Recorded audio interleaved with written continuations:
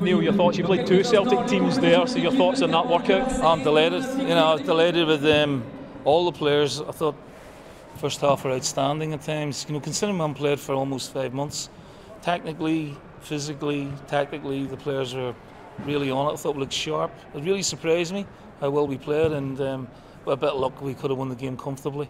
So that's a great start, you know, and. Um, you know, it's a testament to all the work the players have been doing the last few weeks. Yeah, you're not expecting VAR to be used in a pre-season friendly, but perhaps if that had been back in Scotland, the goal would have stood. Yeah, but uh, even with VAR, I'm, I'm, still not convinced it's the right decision. You know, you're saying it's sort of deflected. Um, I, I, thought it was a challenge from the Nice player that put Odsonne in. Anyway, it was just a culmination of a great start, best because we looked really threatening and you know, a bit, bit more care in the final third, which will come.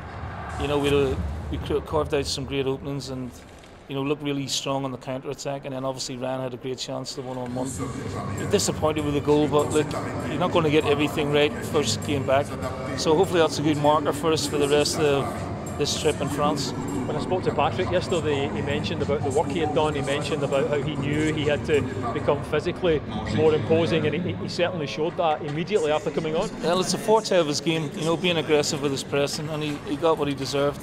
You know, so like he's a work in progress. It's a different style of football to what he's used to in Poland, different culture. But you know, his attitude is brilliant, and he's really hungry to do well. And I think you know, over the piece, he will contribute really well. I'm pleased with Sorrell's, you know, improvement as well. And um, the rest of the core group, you know, I'm delighted with because they were very, very good today. You've got a number of players who are almost certain starters because of the experience that, that they've got in the last few seasons. But the, some of the players in the fringes give you some food for thought? Yeah, look, we want to have you know good backup. We want to have, and we want people banging on the door to get in. It's not exactly competition, but it's what I want is, you know, me being able to have the ability to go right. You're in today, and it's a seamless transition.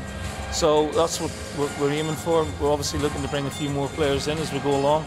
But you know, the, like I said, I was happy with the you know, the squad in the main and getting Moi over the line is a great bit of business again from us as well. So there's continuity there as we go forward.